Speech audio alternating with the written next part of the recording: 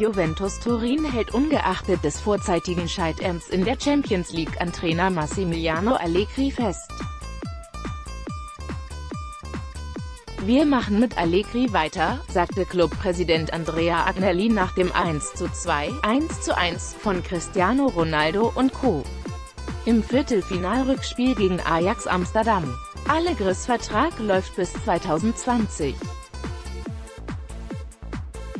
Das Kader ist jung und kann mit Allegri als Coach weiter wachsen, sagte Agnelli und stellte klar, die Champions League bleibt unser Ziel. Allegri 51, der seit 2014 bei den Bianconeri arbeitet, gab sich ähnlich kämpferisch.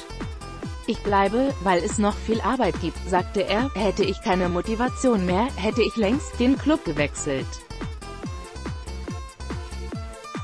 Das ist nicht so, DRZN gratis testen und die Champions League live.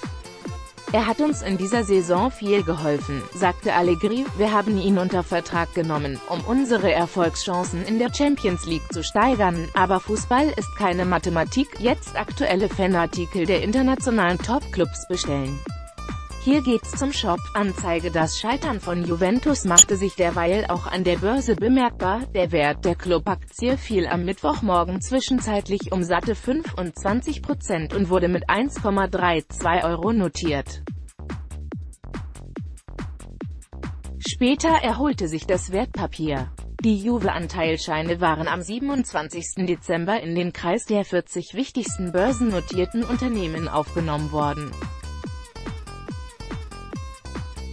Seit dem Wechsel von Superstar Ronaldo zum Turiner Club im Juli vergangenen Jahres hatte die Juve-Aktie monatelang kräftig zugelegt. Die Ajax-Aktie an der Amsterdamer Börse konnte sich dagegen über einen Kursanstieg von 10% auf 18,85 Euro freuen.